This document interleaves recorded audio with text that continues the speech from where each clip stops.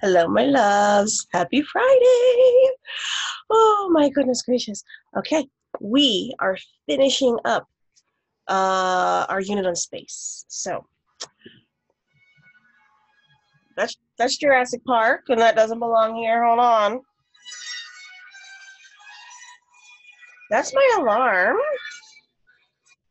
We'll dismiss that alarm.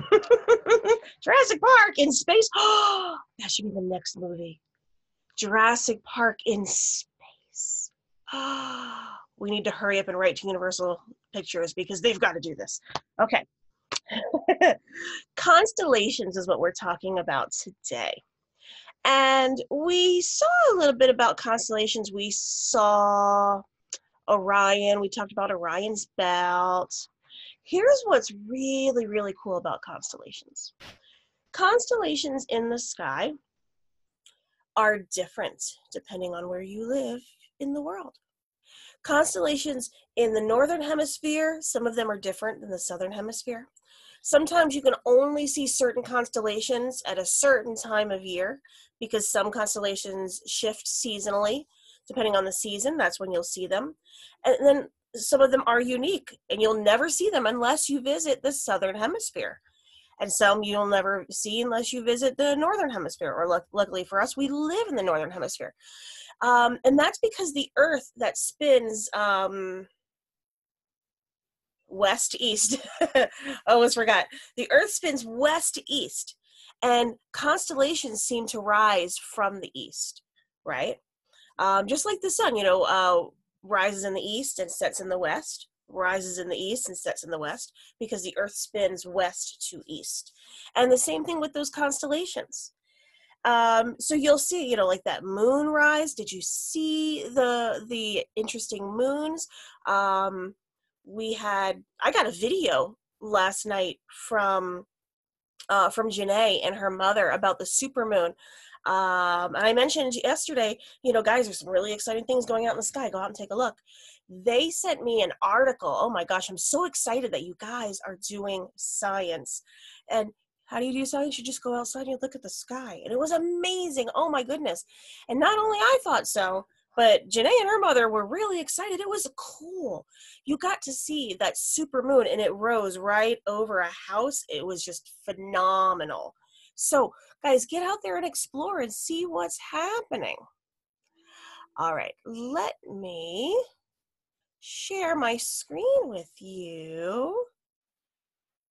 And screen. There you go. All right, take a look. Well, here's that Ursa Major, and we saw a little Ursa Major. Well, big Ursa Major, because major means big.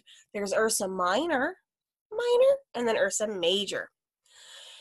Before we had compasses, people used constellations in the stars to find their way. A constellation is a group of stars that make a shape in the sky. So let's look at this picture of Ursa Major, and it looks like a big bear. Well, they drew a bear on top of it, so obviously it's a bear. But if you kind of ignore the, the illustration of a bear and you look at those uh, stars, you don't see those connecting lines. Those lines aren't connected in the sky. So this really took some imagination. And that's what's really spectacular about science is yes, science is based on facts. And yes, it's based on following certain procedures many times and having something be repeatable. And we repeat those experiments three times over to really make sure that we have good, solid results. But not all of science is about experimentation. You don't have to do science experiments with a little lab set in order to be a scientist just going out into the sky and looking and using that big, beautiful brain of yours and using your imagination, you could say, well, that kind of looks like a bear. Now, me, I don't know that it looks like a bear. You know what? Okay, hear me out. They're making that bear kind of point that way. Is it matching? Is it matching? No. There you go, because I'm backwards. so that bear is pointing to the right, okay? But look at his tail. And if you were to look in the other direction, go look in the other direction, I see. I see an animal like leaping, maybe like a deer or a zebra. Do you see where it's leaping? So here's what I see. Here's its head. And then see how the legs, and look, one, two, three, four legs. It looks like it could be an antelope leaping, or a deer, or a horse, or even a, a giraffe, maybe, or a sheep. I don't know, anything. So that's what I see here. This looks interesting. So I think that's kind of cool how they pictured that as the tail. And then this is the head. I don't know if that's a tail. That does, bears don't have tails like that. Is that like maybe maybe it's a wing? Is it a winged bear? I don't know what this is. Do you know what this is? I didn't realize. I didn't look very closely. The illustration shows that it could be a, a it looks like a wing. I have to look into this a little bit more.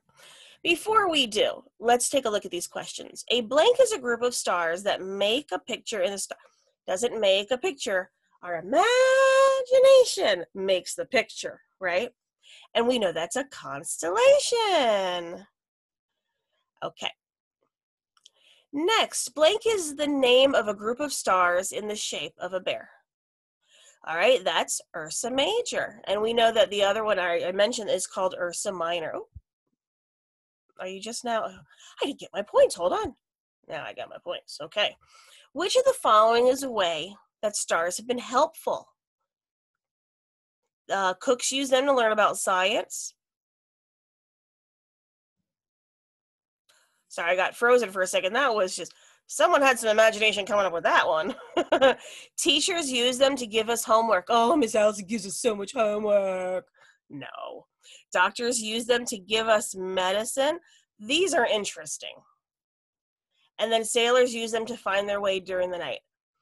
I don't think this question should be that challenging one. This should not be a higher order thinking question because you kind of know the answer. Sailors use them to find their way during the night. Yeah.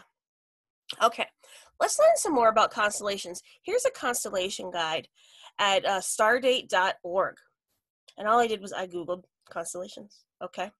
So looky here. This is the International Astronomical Union. And it recognizes 88 constellations covering the entire northern and southern sky. So let's think about what that means the international, that means uh, many nations throughout the world, astronomical union, that means they work together as a team. They recognize 88 constellations covering the entire northern and southern sky. Here is a selection of the most familiar and easily seen constellations in the northern sky. So we're in the northern hemisphere. So this is going to be the ones that we see.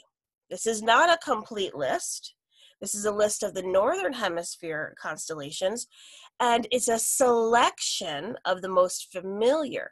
So it's it doesn't have every single constellation. But it says that the union recognizes 88 constellations. That means they that means they agree on these constellations. You can go up in the sky and you can create your own constellation. Absolutely. That doesn't mean that, you know, the world agrees with you, but you know, okay.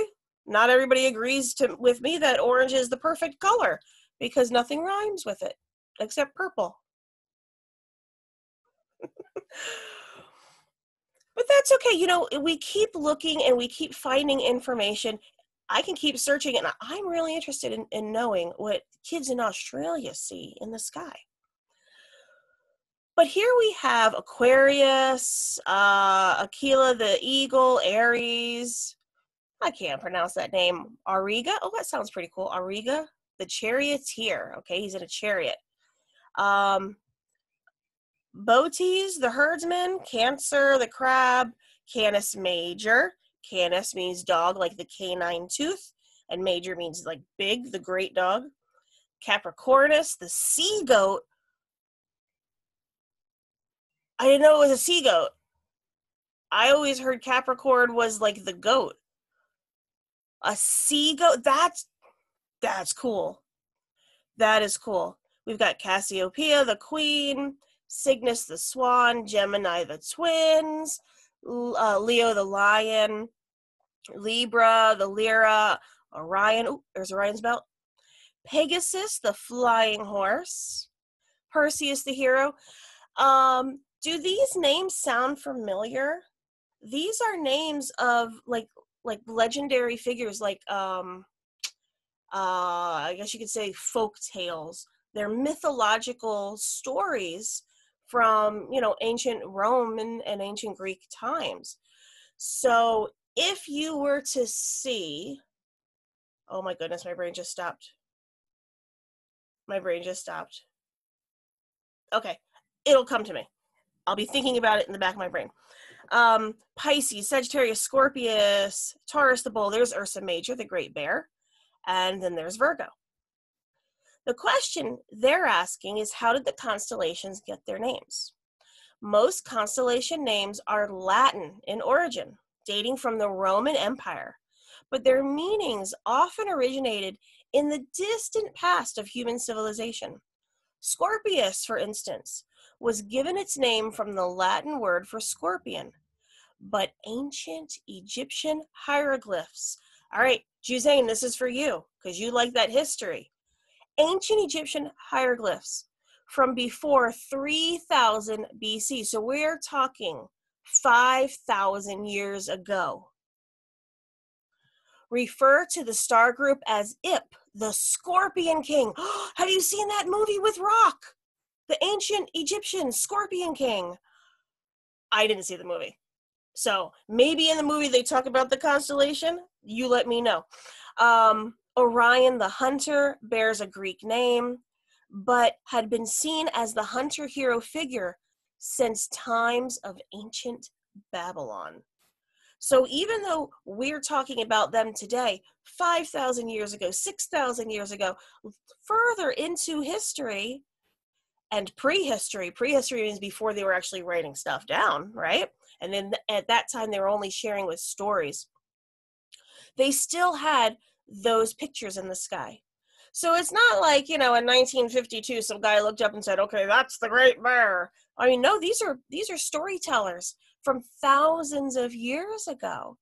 And what's really interesting is everything that we have today, all of our technology, all of our shows and movies and cartoons and songs, all of that is built on things that happened thousands of years ago. When the first artists and scientists look up to the sky and say, How do I explain this? And yeah, I, I would say that it's not really scientific to say that that's a big bear up there, but you're a scientist seeing that and saying, I think that's a big bear. And I think it's there because this happened. Or I think the stars are there because a spirit dog came and ate my grain. That, that's scientific thinking. Even though it's a it's a tale and it's a story, you're actually trying to explain something scientifically, even though you you don't really know the answer. But it's a it's a good start. And then it started thousands and thousands of years ago. Now now don't don't misunderstand me. Thousands and thousands of years ago, there was some really strong science and there was some strong math happening. The strongest you've seen. But there's also imagination. And I tend to think there was a lot more imagination back then than there is now. Because I think we are just swamped in other people's imaginations that we don't turn that power off and use our own imagination enough. So that's a good challenge for you. Maybe do an unplugged day and just sit back and use your imagination. I know this would be great for someone like Artem who is really good at using his imagination because he loves he loves to switch off and and write comics and draw pictures. And I've got so many artists in my class and so many like imagination people this would be a great opportunity for um, for arena with her art adriana's a great artist dylan's a great artist i mean I, I can't i mean i can count i can't even count on my fingers how many amazing artists i have 45 students Uh, all 45 students are amazing artists in different ways. You might be an artist with your words, writing a story or creating dance moves. That's art. Or you might be an artist uh, painting a picture or writing a comic book. I mean, this is all art. The way that you see the world makes you an artist. So, this is really, really, really, really cool. I'm excited about this. Now, look at that next paragraph. Of course, many of the constellation names are more modern. Telescopium, the telescope. Well, that's obviously modern, and it's a new it's a new uh, constellation. In fact, by the 19th century, the night sky had become crowded with overlapping and often contradictory constellation boundaries. Because different schools of astronomy or people from you know like different ideas um, they made their own star maps just like i told you you could. You can make your own. You can make it up because it, it it's it's unique to you. But there was a lot of confusion so they officially organized them and named them. And that means it's official to them. And that means it's official because most people agree you don't have to agree. You can look up there and say yeah um they call it ursa major. I call it the leaping deer. You're allowed to do that. That's really cool. Okay. Oh i think that would be kind of fun maybe to to look at the existing constellations and give it your own name and give it your own like creation stories because like we did with the milky way. Oh that would be so cool. All right. Um how do they relate to astronomy you can look that up on your own i'm really interested in knowing the stories about this because ancient Egyptian hieroglyphs talk about the Scorpion King, and we've got we've got Scorpius up there. Hmm. I wonder what I could find online. Okay, so it just hit me. Clash of the Titans, not the new one. Don't even think about it. The original Clash of the Titans. Epic. All right. The best part about it is well, there's a lot of really good parts, but I think the best part about it is they have like this little owl and he's um he's like a mechanical owl oh my gosh he's just so cute he's just so cute um so they talked about or, or talked about no it's a movie clash of the titans and it's all about like these these mythical figures as gods and goddesses up in the heavens and pegasus is a winged horse it's a flying horse and um, perseus actually rides pegasus as his horse and Perseus is the hero of the movie, and he has to. And then we've got uh, Cassiopeia, the queen, is in the movie. And there is, now that I'm thinking about it, there is a giant scorpion in the movie. Scorpius is in that movie. Medusa is in the movie. Um, uh, I'm trying to think of all the things that might be here. Aquarius, Aries, the Ram um, man, I'm going to have to rewatch it now that I'm thinking about these uh, constellations. And I'm going to look up a better list because we're missing some, right? Okay, train your eyes, move your eyes, glance down here to Pisces the fish. I'm not sure, but that to me doesn't look like it would have been a fish. That is some serious imagination. I would have thought maybe maybe the snake or something. I don't know. What about Sagittarius the Archer? I mean, we've we've got uh they connected to the dots there for just his torso and I mean it's made of polygons, but only when it's connected together. So I, you know, I'm not seeing that that would have been an archer. Oh, you know that looks like to me? It looks like a, a, a crown. It looks like a like a king's crown, maybe. You know, kind of a wonky one. That's cool. What about the harp? Hmm, I don't see a harp there. I'm fascinated at how they they thought of that. Look at this swan. That kind of looks to me like it could have been a sword these are fantastic. Guys, I encourage you, go and look at the sky. Or find a picture of of the constellations not where the dots are connected. Connect the dots la la la you know what? Find one where the dots are not connected and connect them yourself. Just for fun. Use your imagination. Okay?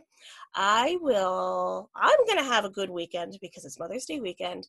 And um, I heard a little. I heard a little rumor that um, my daughter is working on uh, fixing up my uh, art studio for me because you guys saw that I'm kind of cramped here, right? I'm whispering because I don't want her to, to know that I know.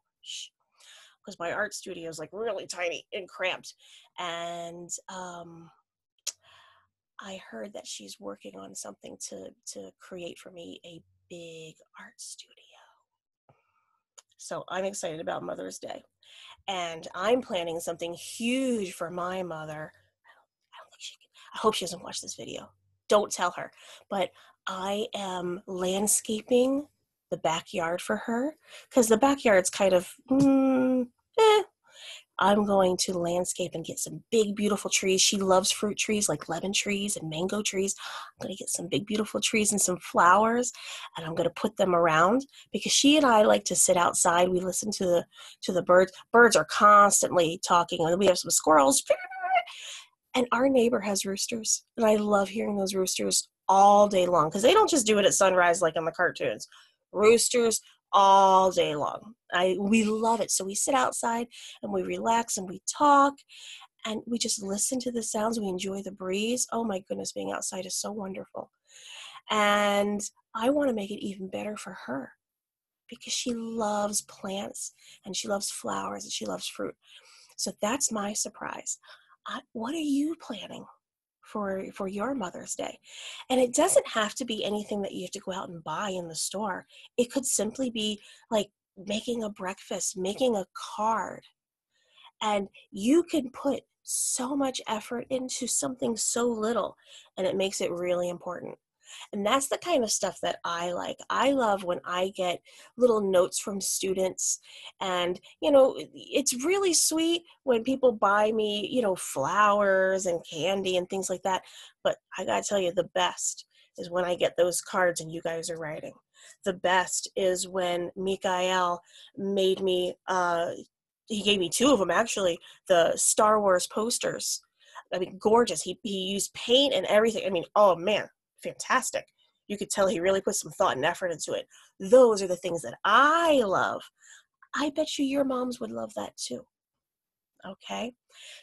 Big hugs, big kisses. And you know what? Mother's Day, it's not just for moms, it's for grandmas and it's for aunties and it's for neighbors. And yeah, it could be for dads too. Absolutely. You know, um, Mother's Day is not really for a person who's only a mother. It's t- it's about for somebody who has who has mothering instincts someone who takes care of you like a mother someone who loves you like a mother kisses your boo-boos like a mother you know? It's for everybody. All right so think of something amazing. Let me know what you find. Okay i love you guys. Bye. I don't know why i'm still whispering. I don't know why i'm still whispering. Why are you still whispering miss